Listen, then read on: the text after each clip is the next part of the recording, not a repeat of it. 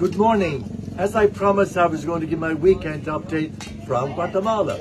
We're here working together on building one of the little houses that all of you sponsor. And so thank you from the people here. This is a beautiful family who just need a simple little cinder block house. And you and all of us are giving them that. It's a joy to work with our team.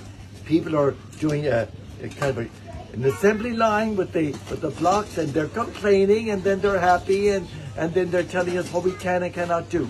They're digging the out the foundation for the little house and that's how we connect in with the people of Guatemala.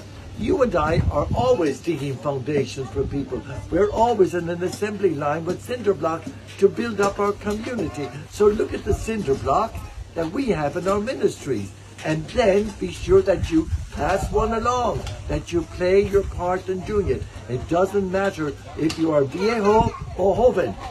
Younger, older, it doesn't matter. Keep working. It's good. It's a great gym exercise for your spiritual life, for ours. I love you all. Again, we're going to keep working. We have Mass this afternoon. We were in a wonderful place yesterday and more information tomorrow. So thank you for joining. But remember, you and I are given cinder blocks of love, cinder blocks of faith, cinder blocks of hope for all of our people.